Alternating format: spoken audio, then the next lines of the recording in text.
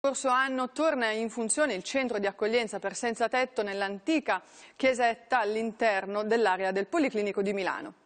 Qua c'è il cambio di mutande, intimo, eh, c'è l'asciugamano, magliette, calzini, c'hanno anche i guanti. Una chiesa inutilizzata, un ospedale, il Policlinico di Milano, la cui missione fondativa è aiutare gli ultimi, una fondazione, progetto Arca, che gli ultimi li accudisce sono gli ingredienti del centro per senza dimora che da questo pomeriggio apre le porte nella chiesa di Via Pace a Milano, nel cuore del Policlinico.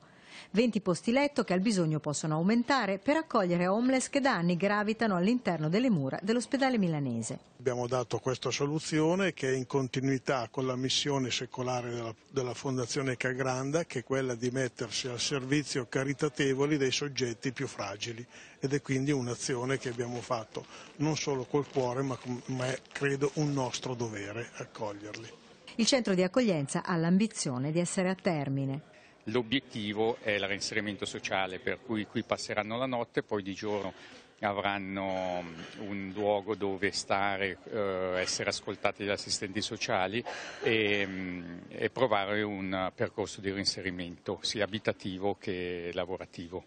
Una sfida che la Regione ha promesso di sostenere mettendo a disposizione alloggi dell'Aler. Anche in Lombardia il vizio del fumo